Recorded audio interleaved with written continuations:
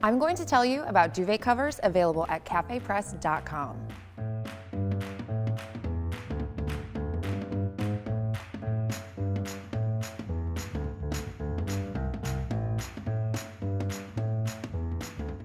Let's take a look at what you can do in terms of design for these duvet covers.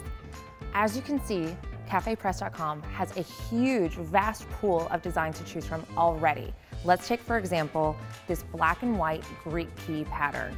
It's very graphic, it's very vibrant, it's crisp, it's classic, it can lend itself towards modern or traditional bedroom designs, and it stands the test of time.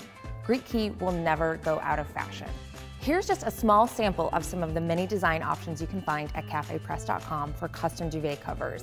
We've brought out a very animalistic leopard cheetah print. I like to add a little sex appeal into the bedroom at times. There are iconic fine art prints for the more sophisticated customer. We have graphic florals as well as more traditional florals to choose from.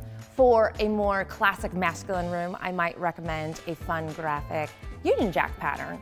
My personal favorite patterns are always going to be linear graphic patterns. I'm Jessie Miller, founder of the DesignDaredevil.com, and that was my review of duvet covers available at Cafe Press.